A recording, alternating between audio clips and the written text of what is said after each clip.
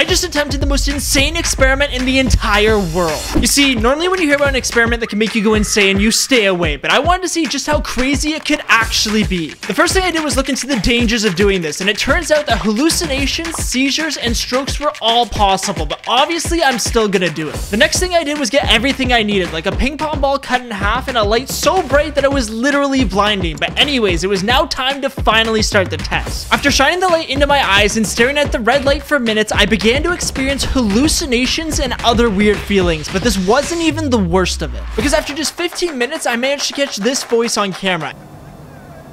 And what happens next is truly terrifying, so watch the full video on my YouTube channel to find out.